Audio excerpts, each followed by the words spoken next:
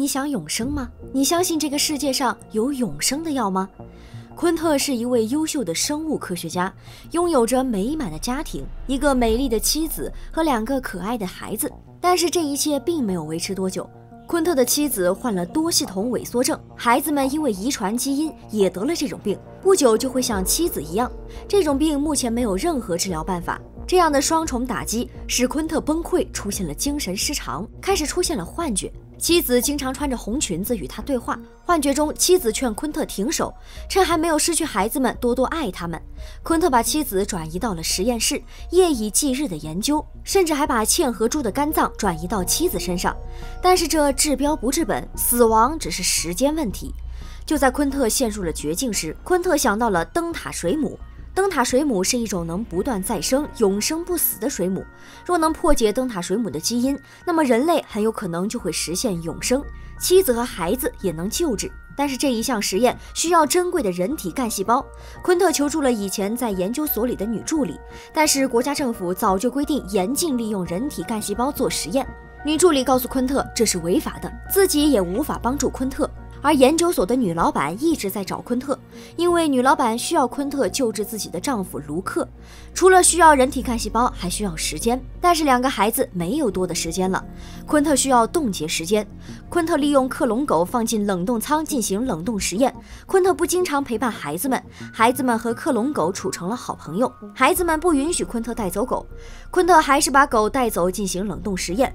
此时，昆特的耳边出现了孩子们讨论的声音。昆特生气地喊道：“闭嘴！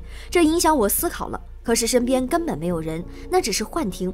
此时，女老板找到了昆特，并且带来了格里芬的尸体。格里芬之前和昆特做了交易，昆特给格里芬嵌合肝脏，格里芬帮昆特偷女老板的干细胞，但被女老板发现了。女老板要求昆特救治卢克，而昆特要求用人体干细胞交换，女老板同意了。昆特帮他烧了格里芬的尸体，掩盖了格里芬的谋杀。妻子的幻觉又出现了。幻觉中的妻子再次劝导昆特停止这些实验。这天，昆特的女助理来到了实验室，女助理主动提出要帮助昆特，昆特却要求女助理回到公司拿回自己的研究，才能放女助理进实验室。昆特提取了妻子的卵子和自己的精子，做成受精卵，并在受精卵中加入了灯塔水母基因。女老板带卢克来到了实验室，却没有带人体干细胞来。昆特再次强调自己要人体干细胞。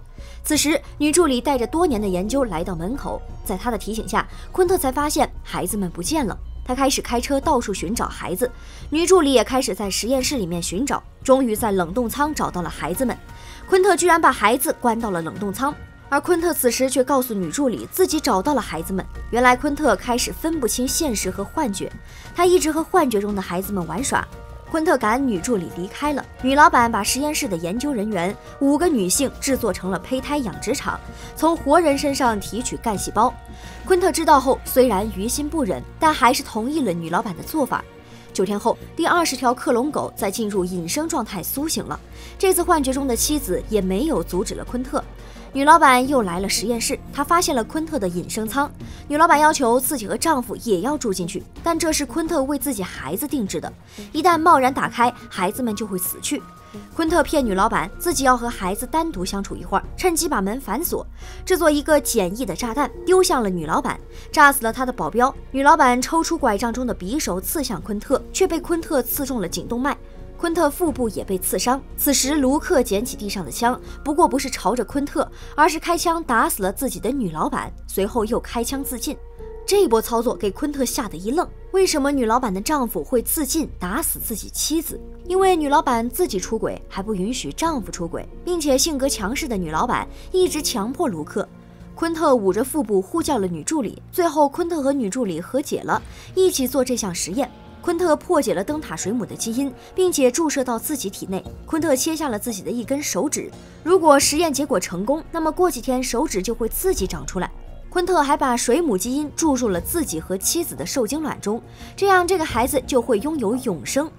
眼看实验胜利在望，女助理给昆特喝了有安眠药的水，弄晕了昆特，趁机把昆特妻子的呼吸器拔掉，伪装昆特杀害了自己的妻子，把昆特和妻子的受精卵植入了自己的体内。之后又将那几名女研究员毁尸灭迹。做完这一切后，女助理装作自己是受害者，并且报警。一会儿，警察赶来时，发现昆特妻子已经死亡，又发现了实验室里提取干细胞而死亡的研究员，而女助理又装作惊恐万分的样子。警察把昆特抓了起来，他们不知道隐身舱是干什么的，以为孩子们已经被冻死了。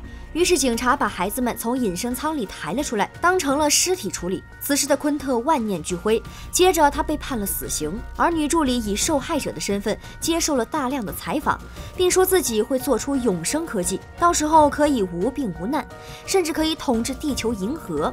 不过，永生技术当初是昆特自己一手研究的，以女助理的技术，恐怕永远研究不出。